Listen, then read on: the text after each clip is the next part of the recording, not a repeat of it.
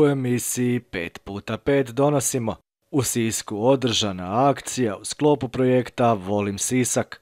U Jastrebarskom otvoren Jaska Art Festival. Grad Novska obilježava Dan grada i Dan zaštitnika Svetog Luke Evanđeliste.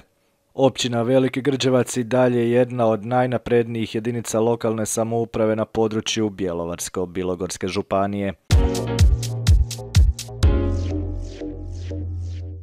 Što su sve u svome gradu uljepšali sisački volonteri tijekom dvije održane akcije u sklopu projekta Volim Sisak?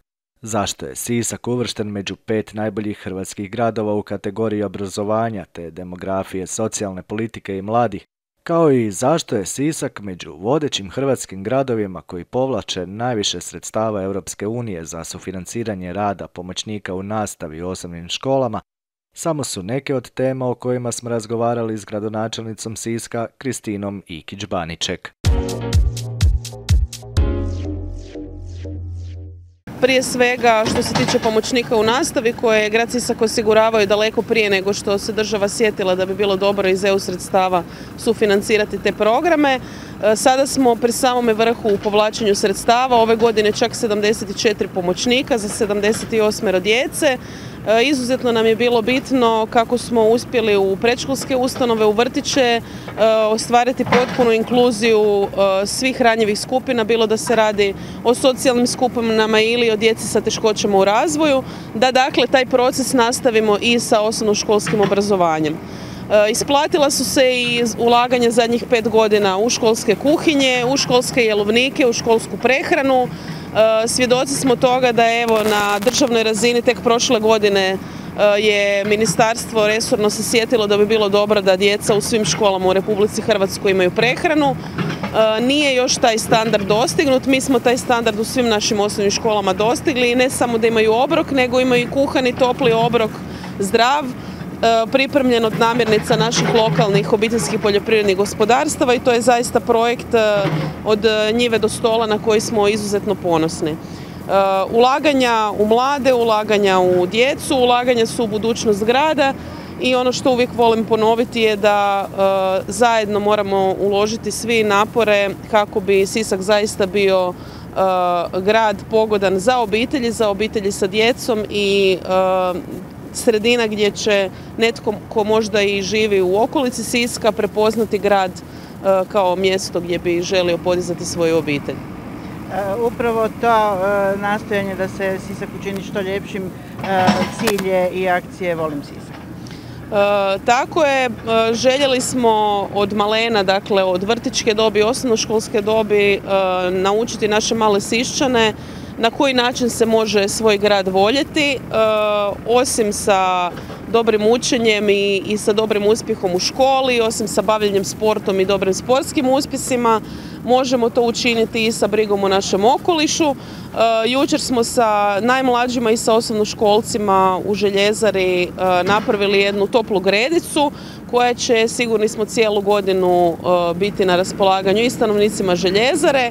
Posadili smo malo voća, malo povrća, malo začinskog bilja, sve kako bi ih približili na neki način zemlji.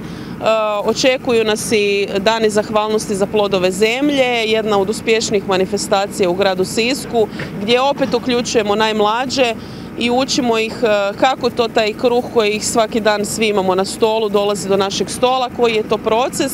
Taj proces smo im jučer malo krenuli objašnjavati sa sadnjom biljaka, a dakle u petak ćemo na gradskoj tržnici uživati svi zajedno u plodovima zemlje, bilo da su slani, bilo da su slatki i sigurna sam da će nas ponovno osobno školci uh, iznenaditi sa kreativnošću kod uređivanja samih štandova i tada ćemo ih naravno morati i nagraditi na naše zadovoljstvo.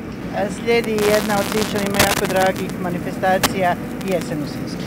Jesen u Sisku ove godine, mada bi mogao biti radni naziv gotovo pa kasno ljeto u Sisku, Sviđa nam se ova jesen u Sisku, sviđaju nam se ove visoke temperature, ne samo zato što građevinska sezona se evo produžila i nismo imali toliko problema sa kišom, nego i zato što se nadamo da ove godine, za razliku od prošle, nećemo imati monsunsko nevrijeme. Vrijedne kuharice u osnovnim školama će ponovno napraviti bučnicu koju ćemo ponovno besplatno dijeliti i pozivam sve da se evo 21. došeću svi do pješačke zone i da zajedno pogledaju što nam naši vrijedni OPG-ovi nude na štandovima.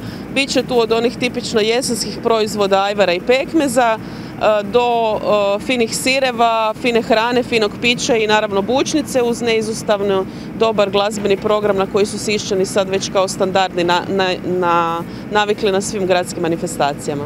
Evo sami ste spomenuli da je lijepo vrijeme omogućilo i niz građevinskih radova, e, nekoliko je gradilišta otvorenih u ovom trenutku. E, sedam je gradilišta otvoreno, a uskoro sljedeći tjedan očekujemo e, gradilište u Grge Tuška na pojačano održavanje i ono čemu se posebno veselim rekonstrukcija šetališta Vladimira Nazora, projekt koji smo bili pripremili i htjeli provesti negdje otprilike u, u trenutku kada je krenula pandemija i kada nas je zadesio potres. E, međutim nakon ovog odmaka vremena spremni smo ponovno taj izazov preuzeti i učiniti dakle s obzirom da radovi na starom mostu dobro napreduju i da ćemo nakon pet mjeseci djelomično pustiti u promet stari most šteta bi bilo da onda sa šetalištem Vladimira Nazora još čekamo. Očekujemo da izvođač sa radovima završi do ranog proljeća kako bi sve one naše manifestacije E, bile upravo ponovno u šetalištu Vladimira Nazora, e, prije svega sajem cvijeća koji smo evo, ovih godina e, lijepo ugostili na šetnici, ali ipak šetalište Vladimira Nazora je lokacija na koju smo svi navikli, a vjerujem da ćemo ove godine uspješno proslaviti, odnosno sljedeće, početkom sljedeće, i rođendan Staroga mosta koji će biti rekonstruiran, obnovljen i spreman za korištenje svim sišćanima za sljedećih 150 godina. Jastrebarsko je ovih dana otvorenjem Jaska Art Festivala postao epicentar uživanja za sve ljubitelje klasične glazbe, a osim o festivalskoj ponudi Nikolina Ribarić, zamjenica gradonačelnika Jastrebarskog, progovorila je o tempu ulaganja u prometnu infrastrukturu te o investicijama društveno korisnog karaktera grada Jastrebarsko.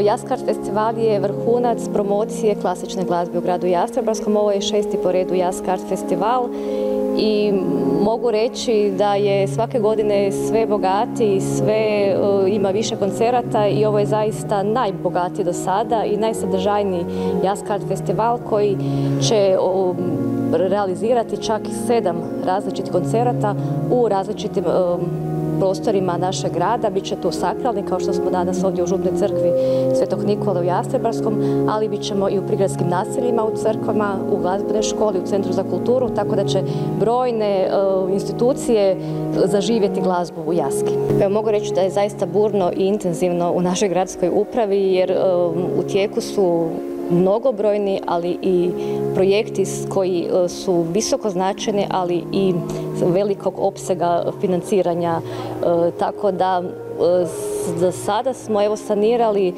preko 60 km nerazvrstanih cesta, što je investicija vrijedna preko 12 milijuna eura. U tijeku je obnova dvorca Erdedi koji je zaštićeno, pojedinačno zaštićeno kulturno dobro i projekt vrijedan 130 milijuna, tako da evo to su neke stvari koje e, su nam sada u fokusu. Pored toga obnavljamo Gradski muzej Jastrebarskoj, to je cjelovita konstrukcijska obnova, ali i mi tu zovemo takozvanu županijsku zgradu gdje su smještene županijske institucije koja je isto tako stara, stradala u potresu i sada je u tijeku priprema dokumentacije, projektne dokumentacije, nakon toga e, cjelovita sanacija te zgrade. Evo to su najznačajniji kapitalni projekti koji su e, za povijest Jaske vrlo značajni. Mi se trudimo na svim poljima pa smo prijavili e, izgradnju dječjeg vrtića, čekamo odobrenje sredstava. Isto tako, budući je županija osnivač, e, isprojektirali smo i novu osnovnu školu koju nadam se da ćemo isto tako uspjeti uz sufinanciranje sagraditi ovdje u Jasebarskom. E, trudimo se evo, na svim poljima, uskoro otvaramo i podružnicu Centra Lug za djecu s posebnim potrebama ovdje u Jastrebarskom još malo pa će biti to finaliziran prostor, evo uređenje je u tijeku, tako da svaki dan očekujemo da on otvori svoja vrata za one najranjivije, najpotrebitije u našem gradu, tako ne, ne stajemo, radimo na svim poljima. Evo, možete nešto reći o ovom zadnjem projektu što ste spomenuli, dakle Centru za e, najranjivije u društvu? Pa da, budući u Jastrebarskom ne postoji niti udruga, niti institucija koja pokriva e, djecu s posebnim potrebama, e, odlučili smo u suradnji sa Centrom Lugi Samobora otvoriti podružnicu za poludnevni boravak štićenika ovdje u Jastrebarskom i evo pronašli smo prostor, u tijeku je adaptacija i zadnje finalno uređenje i evo nadam se da ćemo uskoro useliti u taj prostor. Što je podrazumijevala adaptacija prostora? Uređenje sanitarnog čvora koji je prilagođen osobama sa invaliditetom, montiranje pristupne rampe, uređenje samog prostora, knauf na zidove, osvjetljenje, keramika. Dakle, biti smo ga onako is detaljno uredili, ispeglali kako bi on bio kao nov, a zaista jer oni to zaslužuju. I evo, lijepi prostor, svijetli, moderno uređen, veselim se evo uskorom otvorenju. I kada korisnici mogu očekivati otvorenja?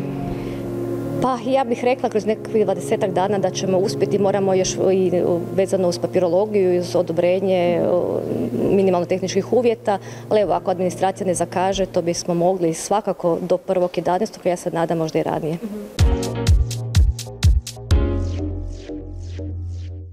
Grad Novska predstojećih će dana obilježiti dan grada i dan svog zaštitnika Svetog Luke Evanđeliste. Tim povodom u Novskoj se održava višednevna manifestacija Lukovo u Novskoj, Kirvaj s daškom prošlosti. Što donosi ovogodišnje Lukovo u Novskoj, ali što je sve Novska postigla u proteklih godinu dana, doznali smo od gradonačelnice Novske Marije Kušmiš. Blagdan e, Svetog Luke Evanđeliste, 18. listopada, dan je grada Novske, a onda u toj prigodi da kako pripremimo i pregršt e, zabavnog, ali i onog kulturnog programa e, kako bi ne samo novljanima, nego i svim prijateljima Novske koji će se ovih dana naći u Novskoj, posebno ovoga vikenda, zapravo priuštili jedan pravi doživljaj, pravi kirva s daškom prošlosti. Kada je riječ o Kirvaju u Slavoniji, onda se zna da iće i pića neće nedostajati, a dakle s programom krećemo u petak 13. listopada, započinjemo sa svečanom sjednicom gradskog vijeća, kada ćemo se evo, prisjetiti što smo to u proteklih godinu dana radili, svih značajnih događaja, značajnih projekata za razvoj grada, a onda naravno nastavljamo veselo u večernjim satima sa koncertima.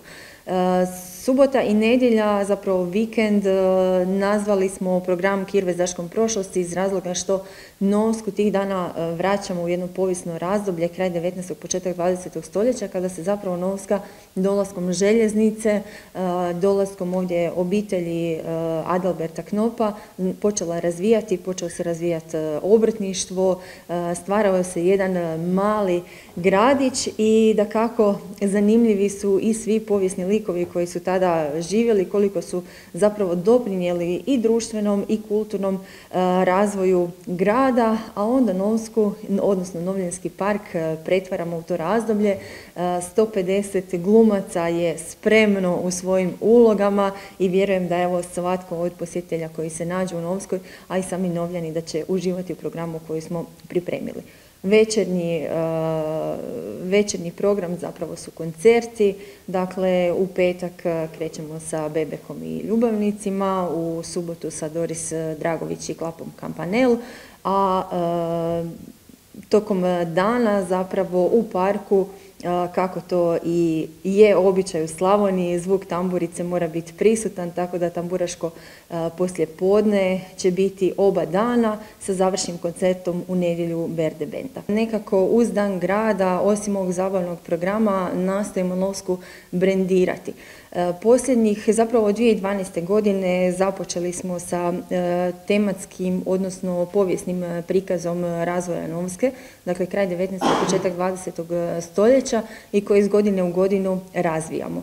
Od prošle godine. On je zaista kirvaj zaškom prošlosti, što zbog uključenih volontera, sudionika, samih organizatora lukova do dakle, programa koji pružamo, a to je vraćanje života Novske kakav je nekada bio. Mi smo zaista u velikom investicijskom zamahu i u brojnim velikim infrastrukturnim projektima od same aglomeracije koju evo, završavamo u proteklog, odnosno ovoga ljeta ishodovana je e, uporabna dozvola za i kanalizacijsku i obnovljenu vodovodnu mrežu.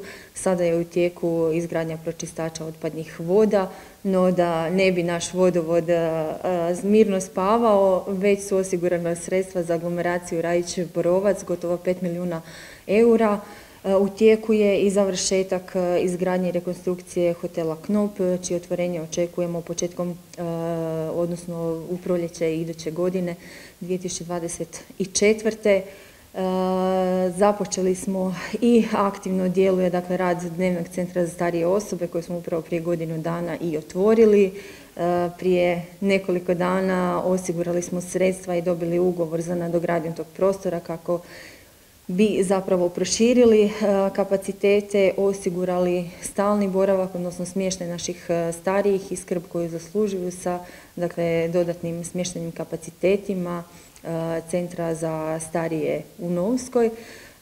Također u je projektiranje novog dječjeg vrtića, a evo otvorili smo od ove pedagoške godine i dvije nove skupine, jednu jasličku i jednu vrtićku skupinu i područni objekat Tintilinić. Nastavljamo zapravo sa svim projektima infrastrukturnim, ulagali smo i u obnovu rekonstrukciju mrtvačnica, cesta, mostove, tako da, evo, puno je zapravo projekata iza nas. Ono što je ključno reći da smo i 2022. zatvorili sa još jednim rekordom ostvarenja prihoda proračuna od čak 90 milijuna kuna, da konstantno pratimo porast broja zaposlenih, da nam raste broj obrta i tvrtki, da nam je nezaposlenost u odnosu na razdoblje od pet godina pala za 50%, e, da smo proveli još jedan zaželi, prijavili e, novi projekt, e, nadajući se da će rezultati biti uskoro kako bi i ženama omogućili radni odnos, ali i našim starijima pomoć u kući koja im je potrebna. Novska je na dobrom putu, ono što nas posebno veseli to je razvoj projekta gaming industrije, dakle našeg poduzetničkog inkubatora koji svake godine ima sve veći broj stanara, odnosno start-upova. Od ove jeseni krenuo je četvrti razred e, srednjoškolskog e, smjera tehničar za razvoj videoigara, tako da smo nadogradili i opremili dodatno još jedno krilo učeničkog doma kako bi novih 20 učenika moglo boraviti ovdje u Novskoj i školovati se a e, isto tako paralelno dakle radi se na završetku projekta i izdano je već e, tri i četvrta je u postupku građevinskih dozvola za centar gaming industrije čiji zapravo početak e, gradnje očekujemo iduće godine.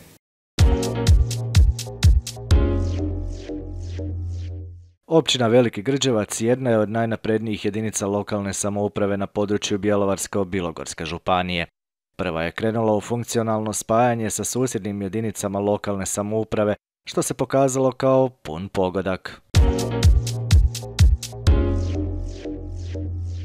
Što se tiče suradnje sa susjednim e, lokalnim upravama, e, ja sam evo nekako e, pobornik toga i svakako da je to jako dobro.